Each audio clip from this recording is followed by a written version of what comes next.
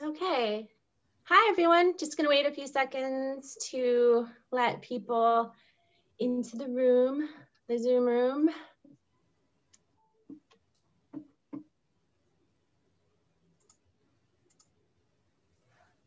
Okay, we'll go ahead and get started. Hi, everyone. Thank you so much for joining us today. We are thrilled to have Kathy Hessler with us today for our keynote. So this session is going to include a pre-recorded presentation followed by a live Q&A with Professor Hessler. And after Q&A, we will present our chapter of the year awards. So to submit your questions for Professor Hessler, click the Q&A button at the bottom of your screen. If you experience any technical issues during this session and need help, please contact us using that same Q&A button, or you can send us an email at events at aldf.org and we will work to resolve your issue. And now, it's my great pleasure to introduce our esteemed keynote speaker, Kathy Hessler, who is a clinical professor of law at Lewis and Clark Law School. She's the first faculty member hired to teach animal law full-time in a law school. She graduated with a JD from the Marshall Wythe School of Law at the College of William and Mary and received her LLM from Georgetown University Law Center. After law school, Professor Hessler worked at Legal Services of Northern Virginia. From there, she went to a teaching fellowship at Georgetown University Law Center.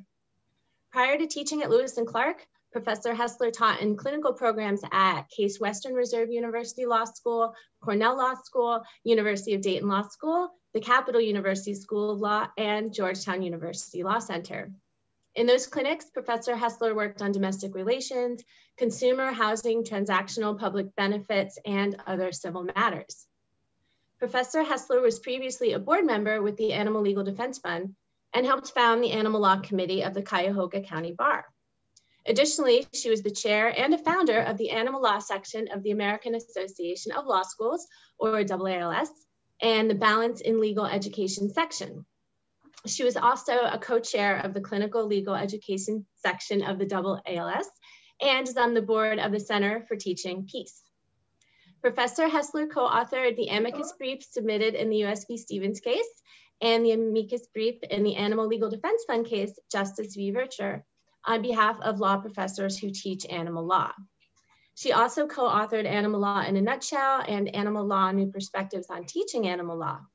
She's written numerous law review and other articles and is now co-authoring the first aquatic animal law textbook.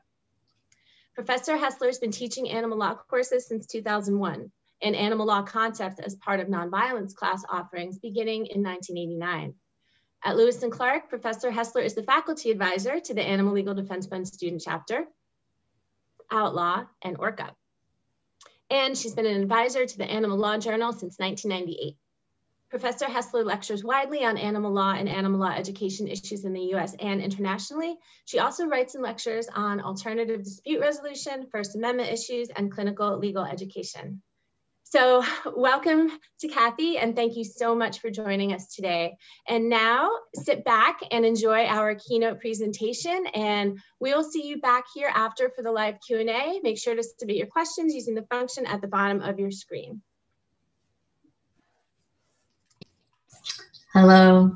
Thank you for that wonderful introduction, Nicole. I am Kathy Hessler, and I am honored to be the keynote speaker of today with you all. And I'm so pleased that you're all with us. I'm sorry that I can't be with you in person, and I know the team is as well. I want to start by giving my thanks for the invitation and for all the work of the Animal Law Program team at ALDF for organizing this fabulous event under really challenging circumstances. I also want to thank all of you for attending, for participating when you have so many other things to do, and especially because I imagine many of you are experiencing Zoom fatigue, perhaps, um, as well as other challenges. I want to thank you for the work that brings you here and to say generally welcome and hello to our animal community. I'm going to start uh, by talking about the challenges that we're all facing this year. This is a really historic year, and you've probably heard that a lot, and I'll talk about it a little bit, um, but it's true. And so I want to talk about that because it's the proverbial elephant in the room with everything that we do. And so I want to talk about that. Um, I'll talk a little bit about my perspective on these kinds of things and personal challenges, and then what our responses to challenges are. We have work in common and we have challenges in common. And so, how do we deal with that? And then I'll, spoke, I'll speak a little bit about why the law matters and how we move forward. And so that's what I want to share with you today. And I'll be looking forward to having some discussion with you in the question and answer period afterwards. Before I begin, it's important to acknowledge um, that this presentation, I'm sitting here in Portland, Oregon, and this is a place that we're able to sit because of the ancestors who are in this place. At Lewis and Clark, we honor the indigenous people whose traditional and ancestral lands we stand upon. The Multnomah, Cathlamet, Clackamas, Tumwater, Watlala bands of the Chinook, the Tualatin Kalapuya, and many other indigenous nations of the Columbia River. We remember these communities, we honor their legacy, their lives, and their descendants, and we can learn so much about respectful relationships with animals and the planet from these historical and present day communities. If we didn't think this was important before, given the pandemic, the wildfires, the hurricanes, the flooding, the extreme weather, these are all examples of the urgent need to repair our relationship with the earth and the animals. So it's important to notice. Challenges. All right. I'm not going to spend a ton of time on this. We all are pretty familiar with the challenges we're facing. So I'm going to speed through this, but I just want to bring us all on the same page and acknowledge the things that we're dealing with because it's important to do that too. Okay, we have educational challenges. You're all in school.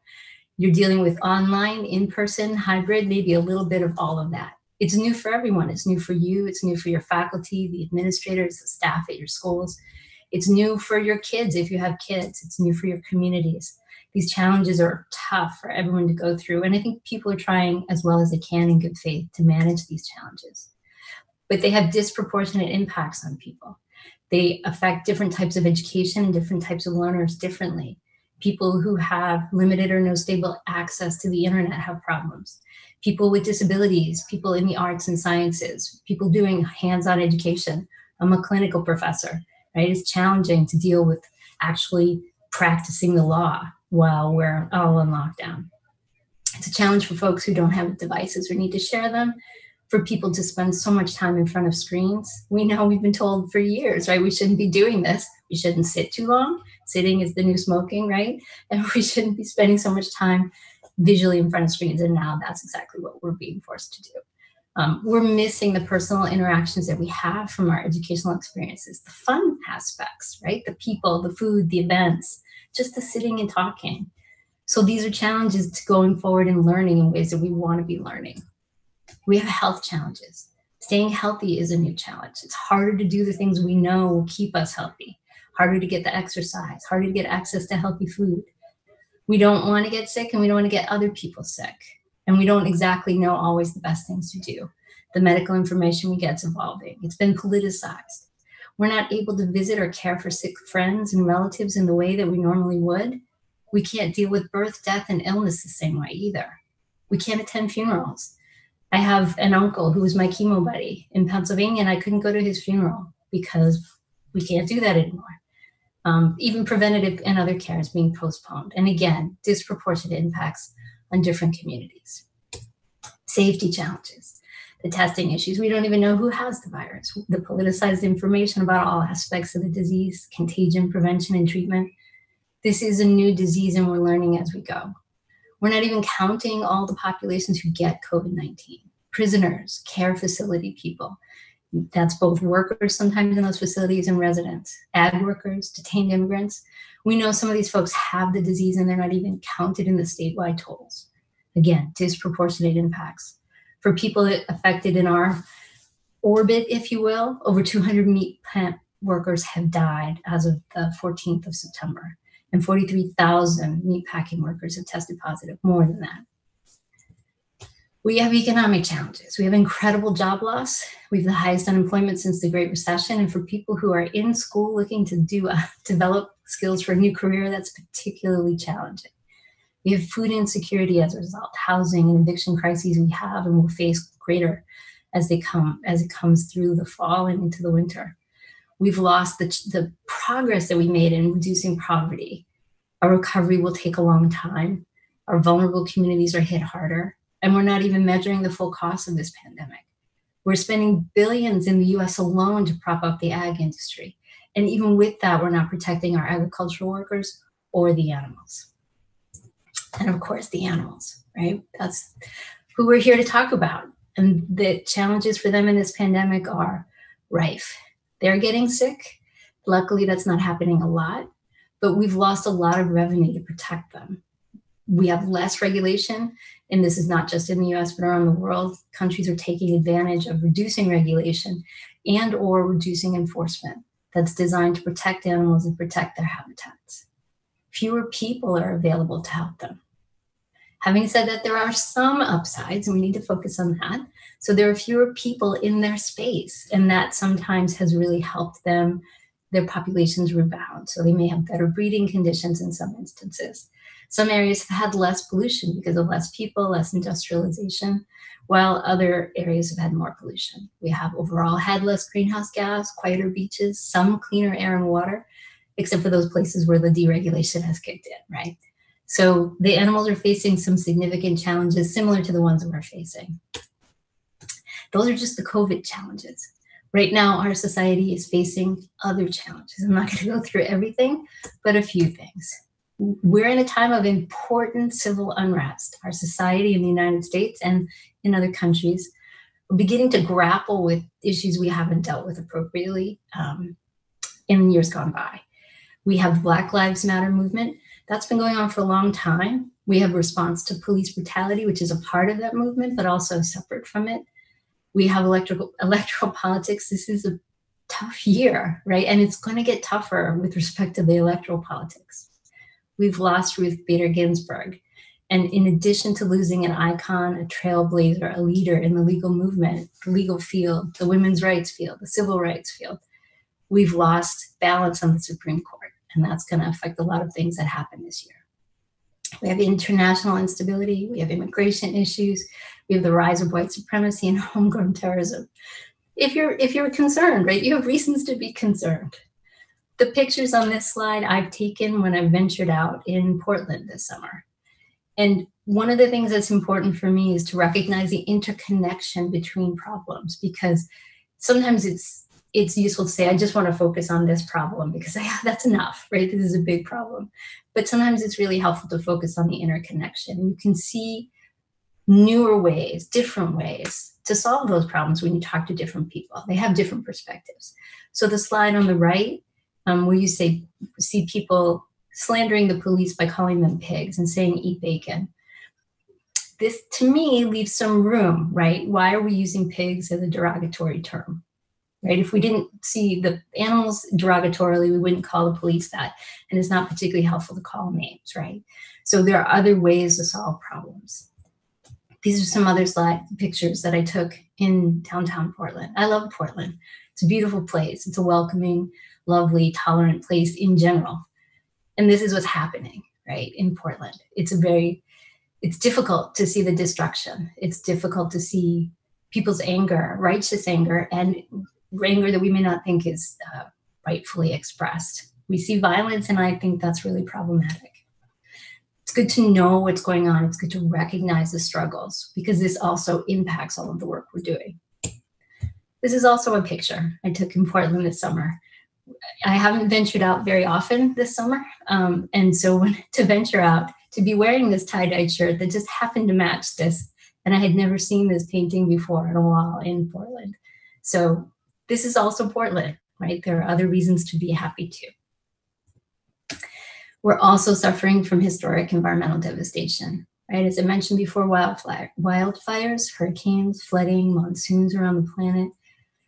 One of the things that's also happening in response to COVID is there are more single use plastics and non recyclable items. I'm delighted that people can do takeout and support their local you know, businesses, support their local restaurants, all the great vegan restaurants here in Portland.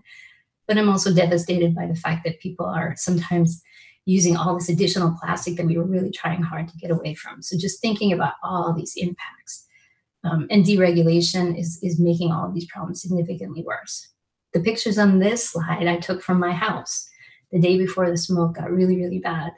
So we were locked down in our house from COVID, and then we were really locked down in our house For another week and a half, I couldn't even go out for a walk because the smoke, you know, it's supposed to be below 50 on the on the ratings, right? For the DEQ is uh, healthy air, and we got up to 459 in in my area. So still other people had it way way worse. We didn't have to evacuate. Other people had to evacuate lost their homes lost their businesses.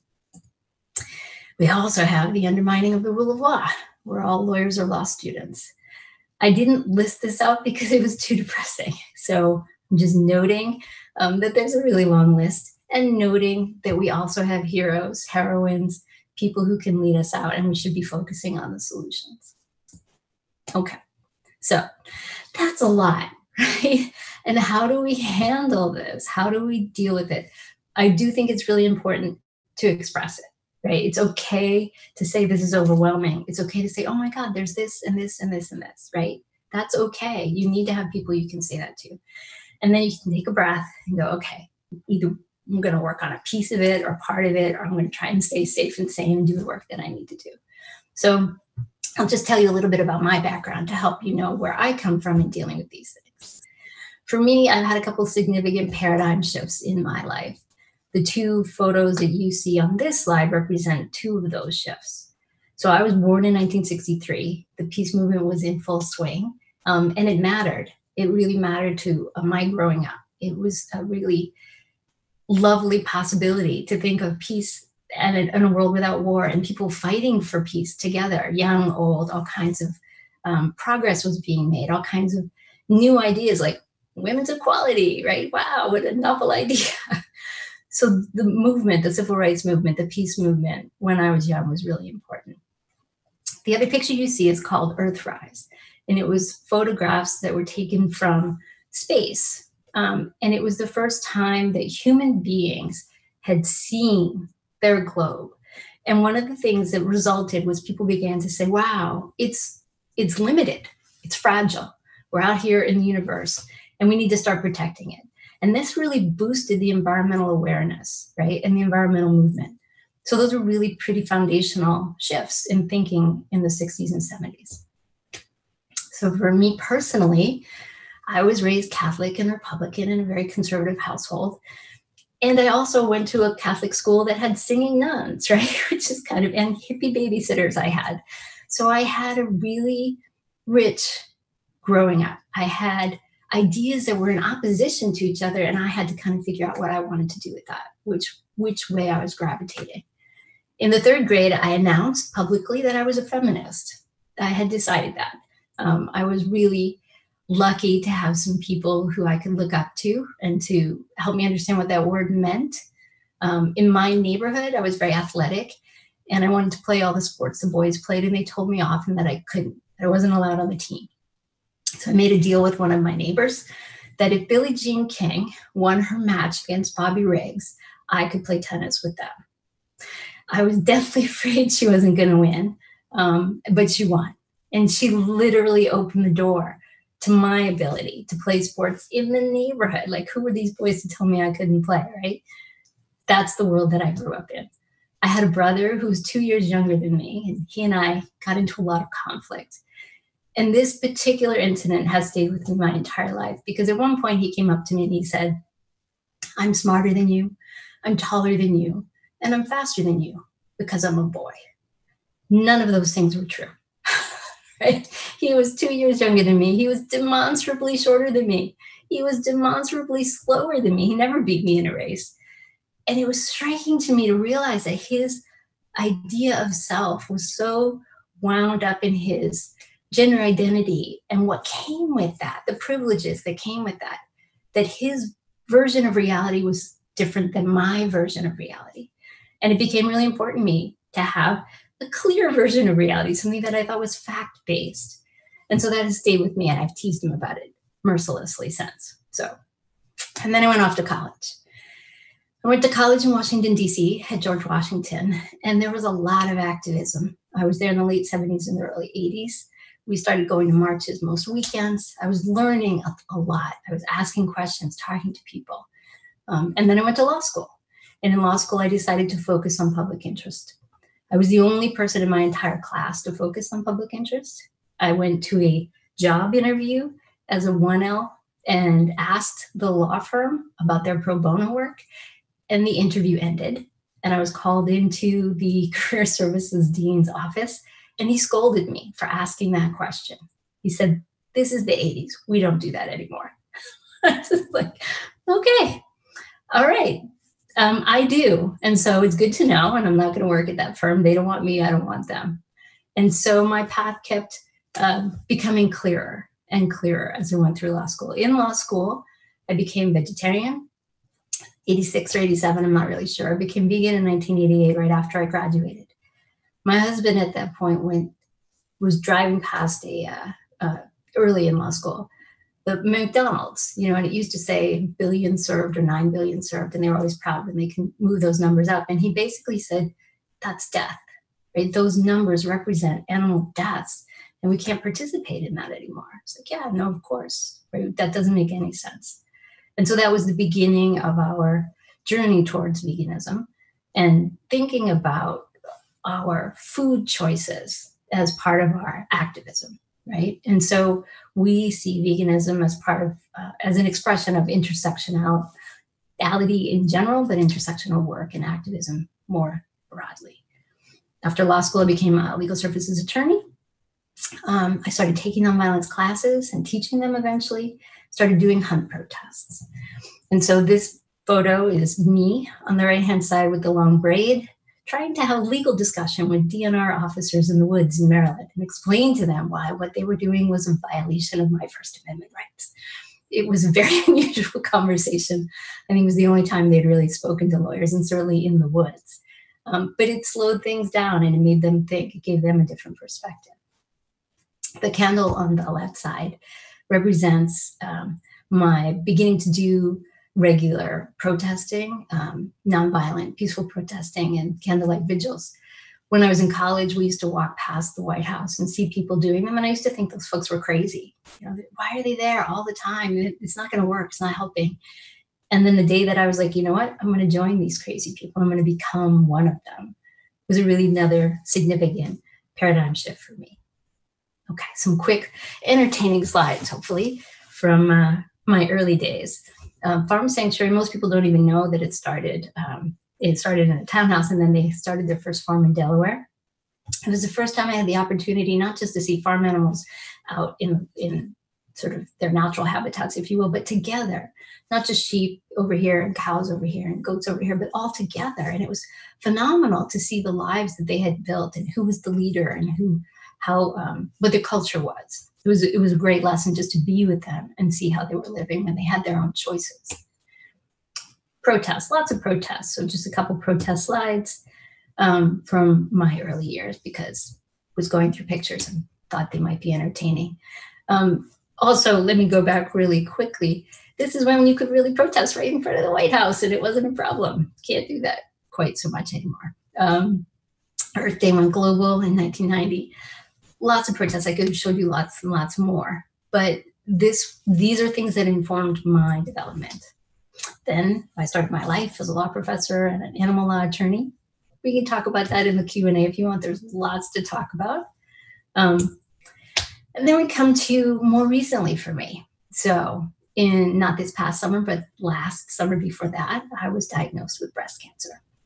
The pictures you see here are pictures I take on my morning walks. I've been doing morning walks now for a number of years, and I take pictures of what's in the neighborhood. And so this helps me go, right? It helps keep me going. So, really quickly, um, because I don't want to dwell on this, the first time I went to the oncology center, uh, folks said, maybe you should think about eating plant based. And I said, I've been doing that for 30 some years, I'm ahead of you. So it didn't prevent me from getting cancer, but I think it really helped me. It helped me. I worked full time through chemotherapy, radiation, surgeries. Um, and so I think it really has been important. I've learned lots and lots of things as I go through the chemotherapy. I was appalled to see the single use plastics there, the flaws up close and personal in the healthcare system, and how folks had so many more challenges than I did. I had wonderful friends and family, students, current students, former students to keep me going. This picture is from Stonehenge in England, um, about five or six days after my diagnosis, because I was there to speak at a conference. Um, and I was there with Dave Rosengard of ALDF. And you have to keep smiling, right? You have to keep going. This is me in October. This is also me in October. So you have to think about ways to challenge yourself to face the challenges, right? And so for me, I knew I was gonna likely to lose my hair, and hair had been actually I'm not pretty vain. I don't do makeup and those kinds of things, but I had hair, and I was not thrilled at the idea of losing my hair. So I thought about what to do. That I'll paint my head, right? I'll make it an art piece. I went to someone who did henna and I said, "How about like a turtle, or how about right some animals?" And she said, "Yeah, I can't do that, but this I can do. This is beautiful." And I did this. It made my students smile. It made me happy and this is one of the ways that I cope with challenges. So I'm going to run through now just some quick things that you can keep with you, right? So courage, not the absence of fear. It's how we act when we are afraid, right? This is where we're at right now. We can all help each other. So, what are our responses? So, we need to be aware. We need to be open to learning. We can't fix any problems if we don't see them. We can't help people if we don't know they're suffering. We can't help the animals if we don't know they're suffering. So we need to acknowledge the problems, reduce our personal complicity, and address the systemic aspects. We need to notice good news. I could have done lots and lots and lots. I just wanted to put some things up for you to look at, and you can look at it later if you like. But notice good news. It's there, it's around us, it sustains us. It's good to focus on that too. We need to be resilient and prepared.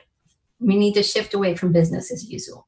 We cannot and we do not act alone. If COVID hasn't taught us anything else, it should teach us that we are all interdependent. We need to learn what problems we're dealing with. This is hard work that we're engaged in, but it's necessary and it's worth it. We need to remember that seeking help is a skill. We're not doing this alone.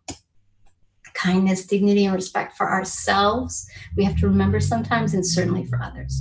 There's so many people in the movement who are willing to help us. We have leaders, we have colleagues. We stand on the shoulders of so many who've done wonderful work.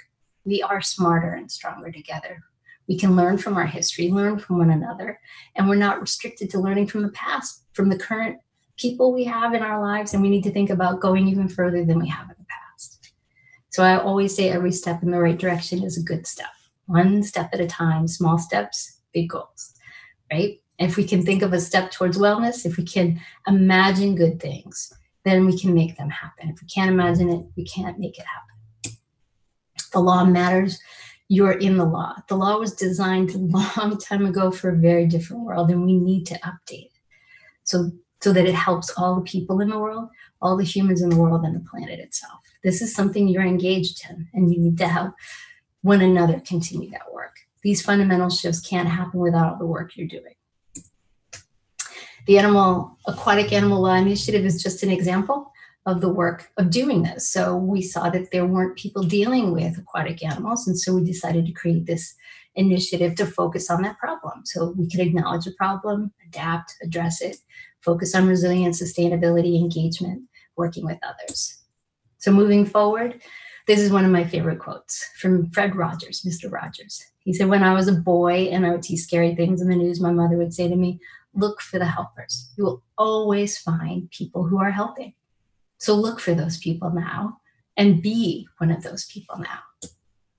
Remember the need for caring for yourself and that rest is a part of your work. It's not separate, it's a part of what you need to do to work. For our work and for our home lives, we need passion and we need patience. Compassion is our universal language. So carry on, support good work, be kind to yourselves, and be kind to others. Thank you.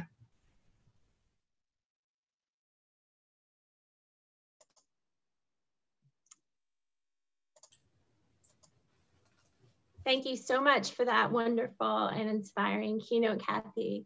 It was so interesting to hear about your activist journey and the broader societal shifts you've seen along the way. And thank you for sharing your personal experience with cancer and some strategies that you have found helpful to cope. Um, well, we have time for questions now, so um, let's turn it over to questions. Um, I I will start. Um, um, I have I have a couple questions while I'm waiting for um, anyone else to log in. So, um, given your vast experience in the field, I have two questions. You can choose which to answer or both if you like. Um, I was wondering, um, I know you always have a ton of great tips and advice for law students, and you did share some in your talk.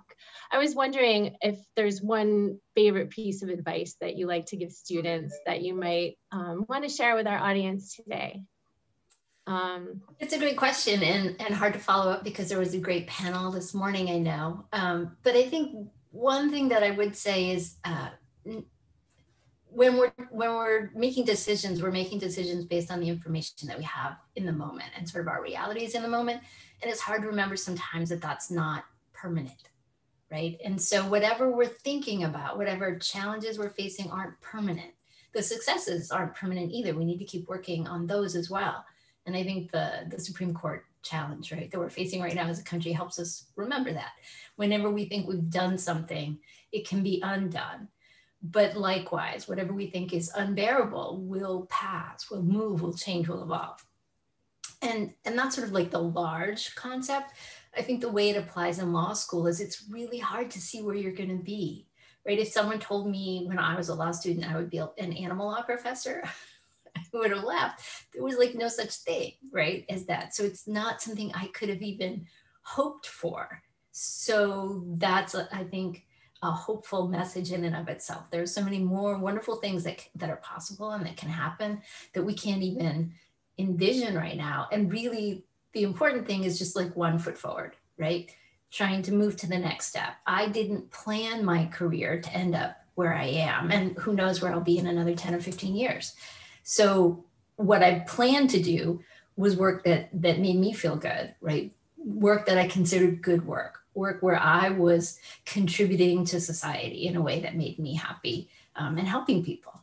And then one thing led to another, led to another. And I was lucky enough to be uh, offered, you know, wonderful positions. I was lucky enough to maybe be crazy enough, as my mom might say, to take challenges that people told me not to take. right? Don't do this, that'll ruin your career. Don't, what are you doing that I'm protesting for? What are you doing this animal stuff for? That's not who you are. That's, I'm like, that's, you know, I have to do the things that are important to me. And, and some of it was to the side, right? Really clearly at the beginning. And I had to ask my supervising attorney when I was at legal services, I'm like, what happens if I do get arrested at some of these events? And he's like, you don't have to worry. I'm like, no, really, what happens like, to my job? And he he was worried i think that i thought i was going to get fired. He's like really? It's fine. You you have a first amendment right to do these things but even beyond that like go do what you need to do. I'm like but as a lawyer do i get in trouble? And i was worried for a long time and he finally said kathy look because i was leaving from work like going to the protest constantly. Um, he said look at all these other attorneys who are um, you know convicted of all kinds of really horrible things and they don't even lose their law license right? And there was a lot of lawyer corruption, and Enron, that kind of stuff. And I was like, oh, right. Yeah, if they can still be lawyers doing that crap, I can be a lawyer doing things I think are really important and I'm happy to stand up for and say, yes, this, this is something I was willing to get arrested for or what have you. Um, so all of it, there's a lot of serendipity in how my career has evolved. And I think that one of the challenges in law school is you're just really focused on like my job. What's my job going to be? For really really good reasons. One how do you start your career path? That's important. You put a lot of time and energy into it. And two you need money. You need to pay off the student loans. So that that focus on what's your first job is really important. But just remember it's your first job right? And and take a little of the heat off of yourselves Thanks. That is really great advice. And it's so it's so helpful too to have that context that that you touched on. It's like this is a pretty young social movement and we have to remember that we've seen a lot of changes in the last many decades when we can sometimes feel like, oh, everything is so overwhelming and it's not going to change. But it can be helpful to look back and see how things have changed during the relatively short time that this movement has been um, a force. So um, have a couple questions here um, from anonymous attendee asks, was it difficult transitioning from practicing law in a non-animal law area to practicing in an animal law field? It's a great question. And I still suggest to students, if you can't find an animal law job, find a law job, right? And for me, being in the legal services uh, environment was a fabulous, fabulous training because I did pretty much this really broad civil practice. So I was in state court, I was in federal court, I was doing a little bit of legislation, lots of litigation. Um, I was learning a ton and I was learning how to be a good lawyer. I was learning how good office, you know, practices, just a lot that has stood me in good stead in general, but also substantively, right? Contracts, property, all these kinds of areas of law that I think a lot of students, sometimes when you go into animal law, don't realize that's the foundation upon which animal law sits. And you need to have some of that substantive knowledge. You can learn all kinds of stuff, but you don't want to learn everything when you leave law school. So having some foundation, um, and it really helped my general perspective. So when I was thinking about animals, I had, say, a domestic relations background, and I could say, oh, right, I've seen families fight over the animals, and there's no law to protect them. And so when I was testifying um, in Alaska, right, for the first state that did a bill dealing with uh, uh, what happens with animals in situations of divorce and dissolution, I could draw on that experience. And I could say, I know how this works for couples in this process. I know how much pain there is. I know how little guidance makes things worse for them. And this bill can help, right? And so that experience was really, really helpful. And so I think any legal experience that people have is helpful. I also think you can transition back and forth if you need to or want to. So there's the connectivity underlying the law is there no matter what. So in some respects, that was easy. I will say that it was 1992. Uh, no, sorry, 19, well, different stages, different things. So when I started focus on, on animal law, people were really skeptical. And when I actually left even to come teach at Lewis and Clark, and that was 2008, I had colleagues say, what is wrong with you? You're, you're leaving all this really important work that you're really good at behind. I'm like, no, I'm not, right? I'm, I can still do some of that work. I can still be engaged in those movements, but this is important and this is an area other people aren't focusing on. And again, they're connected. If you want to stop violence in the world, which I do, I want to stop violence against animals, against humans, against the planet, right? And so it's connected. So I think I don't want to oversell it how easy it is because there's still a lot of people out there that think what we do is crazy or think it's misplaced. Um, and so we need to sort of ask ourselves those questions and figure out why it is we're doing it. And if we examine that, we'll have good answers when people ask us those questions. They might be different for every single person, but they're good answers. So, yeah. Great, thank you. Have a few more questions coming in. Um, Simon says, thank you for sharing your candid journey with us, Professor Hessler. My question is, as a student who's graduating law school and moving to a state that doesn't have the legal advocacy for animals like Oregon or California does, what recommendations do you have for future lawyers wanting to advocate in a state like Texas? So you're not alone. Um, and most of us in my sort of age group uh, did what you're suggesting you're needing to do, um, and with less uh, support and less uh, awareness. So, so don't worry that you're in Texas. One of the things that I always suggest is find allies, whether those are people, and there are lots of people across the state of Texas doing animal work, um, animal protection work, animal advocacy, and animal law. So find those people, make connections, build networks. Those are the folks who will help sustain you. But find other allies as well people who just care about good law, people who care about good society. Um, those people are going to be good allies for you as well. So find people who support you so that you can con- constantly deal with the people who don't, right? And know that that's going to happen figure out how you want to deal with those settings, right? What's your strategy? What's your perspective? What's your style? And get comfortable, practice some things, right? Um, I always suggest that people are respectful. It helps if you try to understand where other people are coming from and what their priorities are um, so that you can have a conversation and not just say, well, you're wrong because I'm right and you should listen to me, right? That's not usually terribly effective. And it's less effective in an area where people are less comfortable or familiar with the conversations you want to have. So be sensitive, be respectful, but be yourself and do the work you want to do and find it in any way you can. A number of students will end up having to do what might seem more traditional legal jobs. And what I tell them is do animal stuff on the side. It keeps you connected, it keeps you building your networks, and eventually you might be able to build that into a full time position, even if you can't do it straight out of law school. Plus, it will feed your soul. If this is important to you, find, find ways to do it. Yeah. Great, thank you.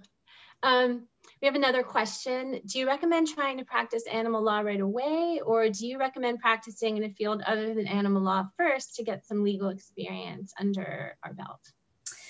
Uh, if you want to practice animal law and you can find a job doing it right away, go for it, right? Um, things will evolve.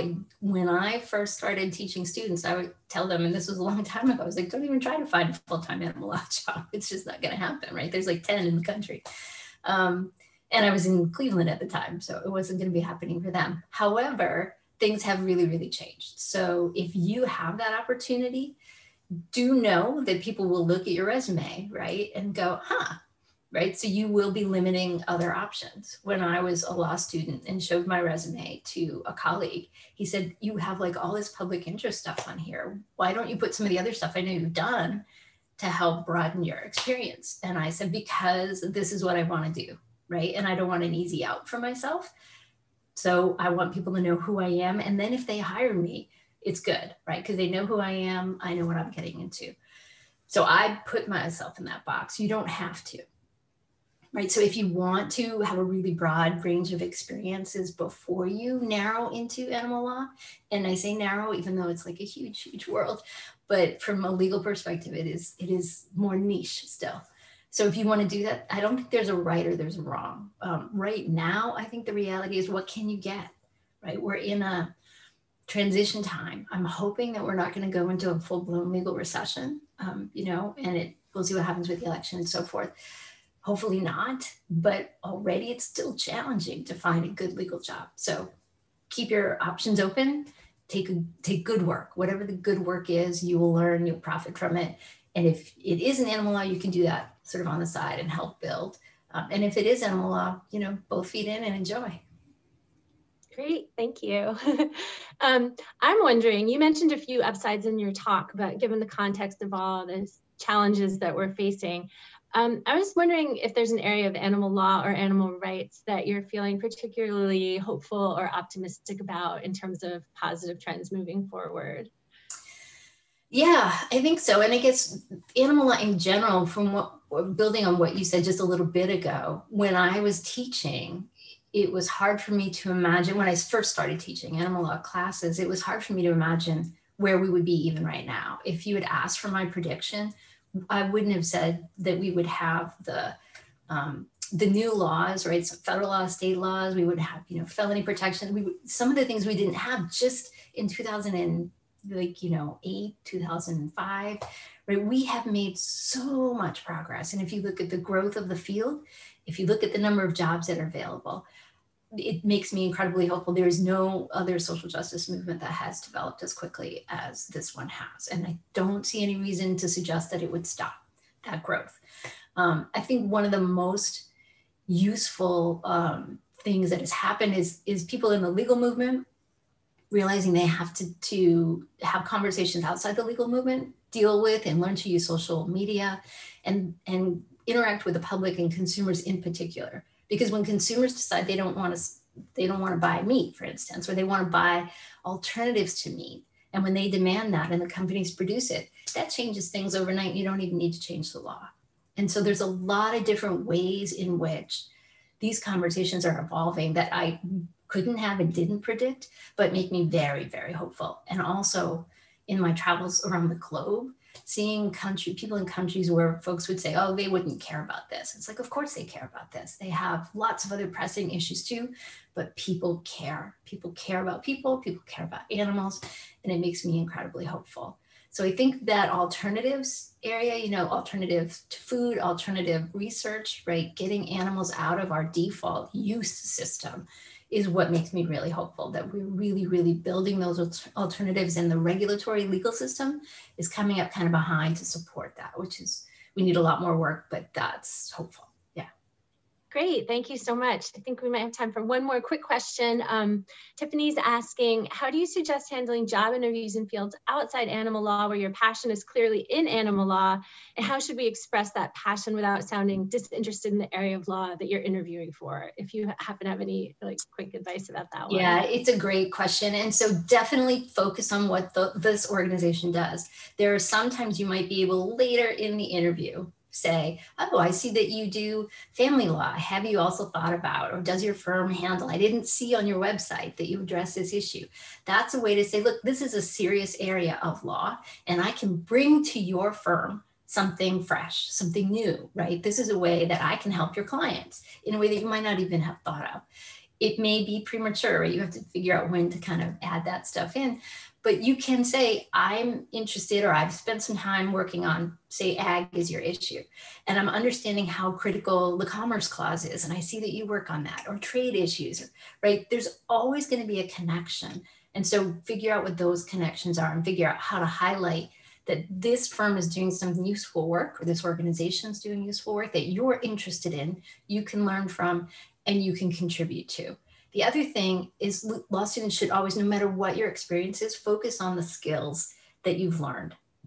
You don't always have to focus on the substantive, areas of law, right? So if you did something in crim and you're talking to a civil professor or civil, you know, organization, you can say, this memo writing that I did, the research I did, the way I was able to talk to the clients, whatever it is that you did, those skills are transferable across any practice of law. And so remind yourselves that you've already learned these things. You learn skills, you're engaging in them, you'll learn more. Sort of highlight that, right? Put that on your resume. Highlight the skills and the practice that you're doing. And then the substance you can spend a lot more time talking about in person and you can then gauge what seems appropriate, if that makes sense. Great. Thank you, Kathy, so much. That was wonderful. Thank you for joining us. Thank you for that inspiring keynote. Thanks for sharing your experience and all that great advice and wisdom. We really appreciate having you here today. Thanks for having me. Um, so now I'm going to turn it over to Kelly um, for our Chapter of the Year Awards presentation. Thank you. Thank you, Nicole. I'm thrilled to be here to announce the Chapter of the Year Awards alongside Professor Hessler. These awards celebrate chapters that have shown incredible efforts in advancing the field of animal law. Our Animal Legal Defense Fund student chapters are a vital part of the growing animal law movement. Through raising awareness of the field of animal law at your school, you are showing your fellow students and law school community that animal protection is a serious social justice issue. You are the future attorneys, legislators, and judges who will be influential advocates for changing the law to better protect animals. I'm going to pass it over to Kathy to announce the winners. Thank you, Kelly.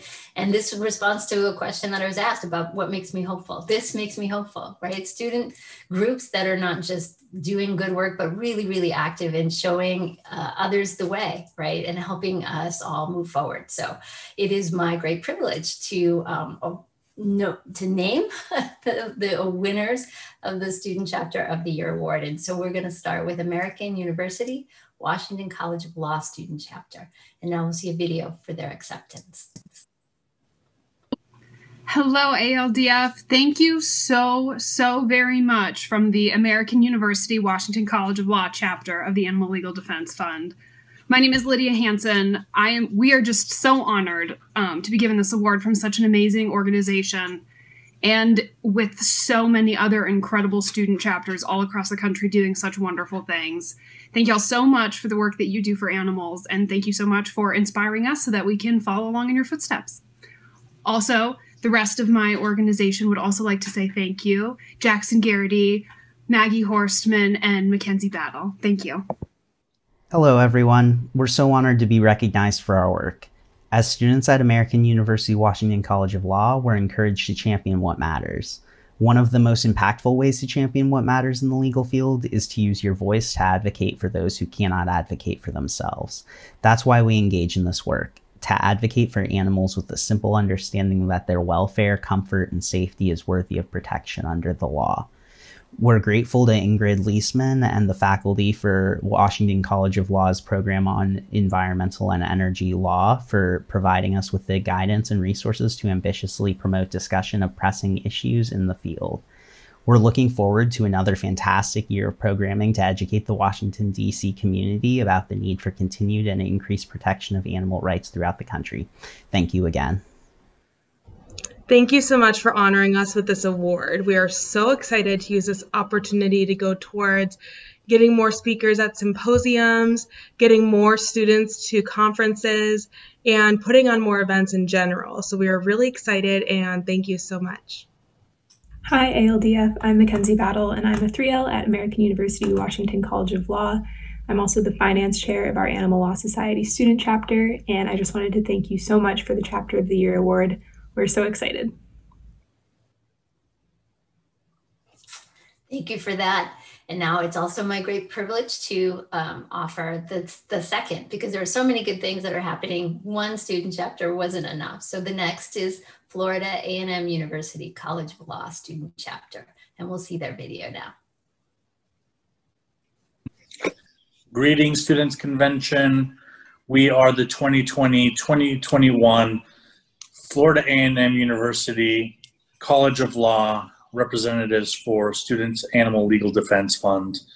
My name is Simon Safer. I am the president. My name is Rachel Hernandez, and I am the vice president. My name is Jennifer Ardreche, and I'm secretary. My name is Lindsay Shamali. I'm the treasurer. My name is Ramesh Winter. I'm the day representative. My name is Andrew Eastler, and I am the evening representative. And my name is Heather, and I am the prior president. And we just wanted to thank the national chapter for giving us this award once again. We appreciate all the support that you gave to our chapter in the last two years and enabling us to hold the events that we held and allowing us to go on sanctuary trips and give back to the community. We couldn't have done any of this without you. So we just all want to say thank you to the national chapter for all the support that you give us. Thank you. Enjoy the rest of the convention. Thank you. Wish we were there with you.